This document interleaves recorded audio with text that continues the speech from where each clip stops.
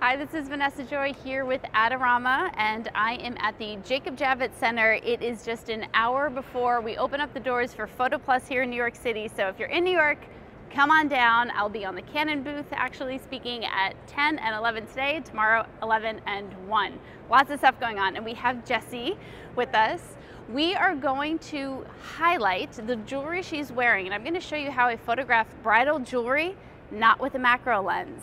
I know a macro lens tends to be one of those things we don't buy right away because you really only use it for one or two shots. So I wanna show you how to photograph jewelry not using a macro lens. And we have to thank, pulling out cords. We have to thank Kleinfeld's for this gorgeous dress. They let us borrow this beautiful, beautiful dress. I love the lace, looking good. And then we have to thank Ristolo for all of the jewelry. This jewelry is not costume jewelry. This is completely beautiful, authentic diamonds from Verstolo. And the cool thing about them, they're the only place in New York City where you can rent high-end jewelry. And if you get your wedding band there, you actually get to rent the high-end jewelry borrow it for free when you buy the wedding band there. So let's get started. Yes. Uh, so we have all of the jewelry here that we're gonna highlight. We have a lovely window. One of the things that I like to do is focus on little parts one at a time. So I have the 50 millimeter and then I also have an 85 millimeter. Think I'm gonna probably play with the 50 the most on my Canon 1DX Mark II. By the way, the Mark III was just announced today, so make sure you look at that. But we're working with the Mark II. I'm gonna use the 50 because I can get a little bit closer when I focus on her. So I'm actually gonna move a little bit this way and where she's standing, move your shoulder a little towards me right there. The sun is coming across, so it's gonna really show a lot of the detail. Let's get an exposure. So right now I am at ISO 100. I do want to be on a kind of shallow uh, aperture just because that's my style, that's how I like it. But right about here is good. Nice. So this is what we're going for, just kind of highlighting the jewelry that she's wearing. She's really showing off all the detail. And then I'm gonna move. So we're gonna come this direction. Maybe I'll actually photograph this with an optical viewfinder. Nice, that looks really good. So really just letting the light come across to show the detail is very helpful when you're photographing jewelry. And this is all good. I would probably go throughout whatever she's wearing and photograph each little part of it right about there. And then go ahead, look that way for me. Get the jewelry. She's got such a great jawline. Do you get that a lot? That's a weird thing to say, probably. Thank you. All right, that last one was a little bit dark, but I like it. So we've got that. So just little parts of the jewelry, little parts of her. But now I want to tell a story with it. I don't want to just photograph the jewelry because this is a wedding or mock wedding and I want to make a story out of this. So I'm going to have you turn towards me a little bit.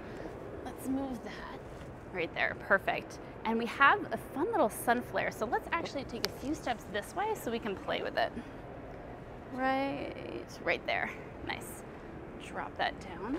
And what you're gonna do, I'm gonna highlight your earrings. So very carefully, when people put their earrings on, they usually cover the, the jewelry and you don't want that. So let them put their earrings on first and then what you'll do is you'll just turn to that side and hold the back of the earring.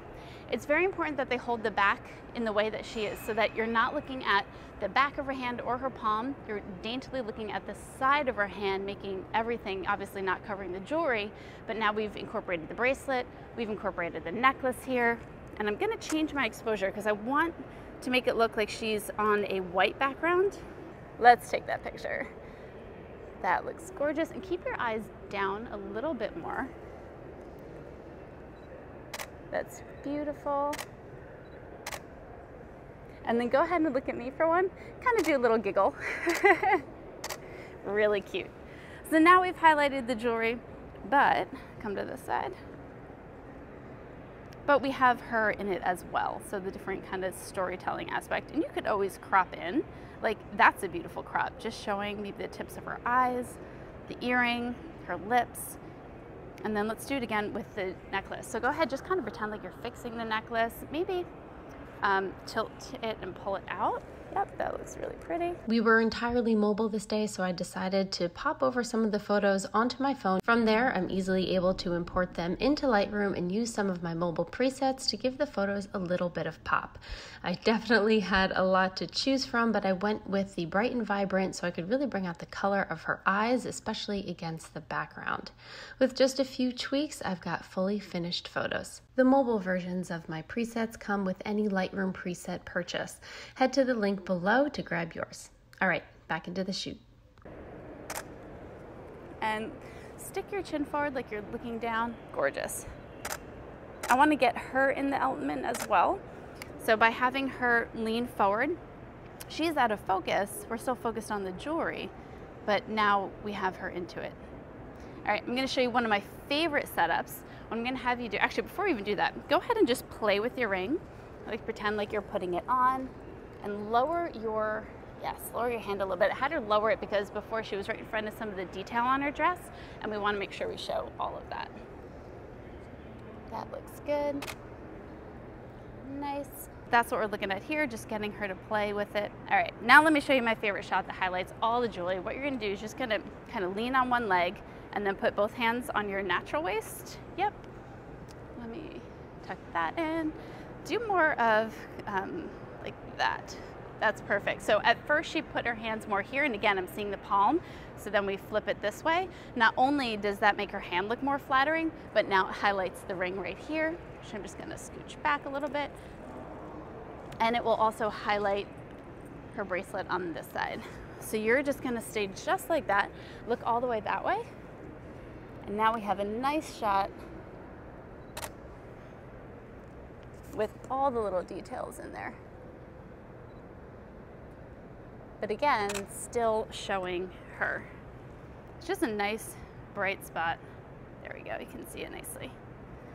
And then again, you can kind of zoom into any part that you want. If you want to just highlight the ring here, it's perfectly in focus. If you want to highlight the necklace, it's perfectly in focus like that. Now I just want to photograph you if you don't mind because you look gorgeous.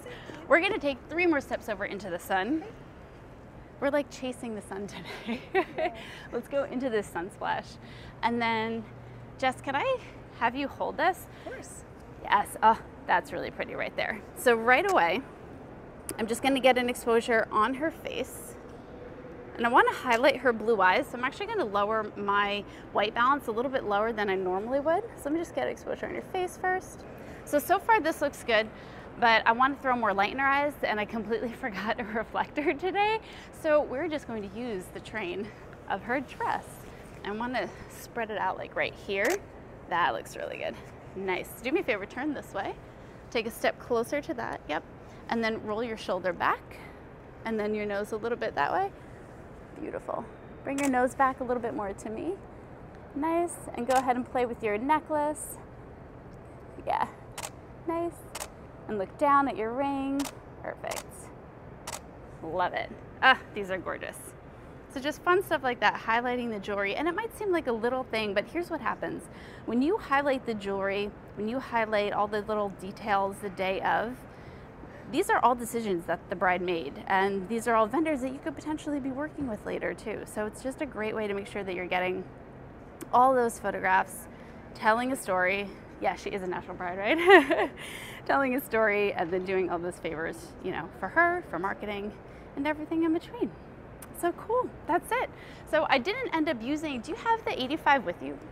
by chance. I'm gonna switch just to the 85 just so you can see the difference. I know I told you I used the 50, but I, I want you to see what you can do with the 85 that's gonna give you a little bit more compression because this is also a stylistic choice, not necessarily a you have to shoot details with the 50. You don't have to, all right? So do the exact same thing with the earring. Yeah, uh, turn that way actually. I think that's your better, yeah. I just like that you see the bracelet too. That looks great. There. So what's gonna happen when you're shooting with the 85 is everything's gonna be a little bit more compressed. Using a 50 is just gonna give you a little bit more of a comfort level to be able to get more of the pieces in focus, get closer to your subject, uh, and in my opinion, get a better picture when you're working with jewelry. So I'm Vanessa Joy at Vanessa Joy here on Instagram. This is Adorama, and we're gonna go into PhotoPlus. I hope to see you guys there. Thank you, and thank you, Jesse.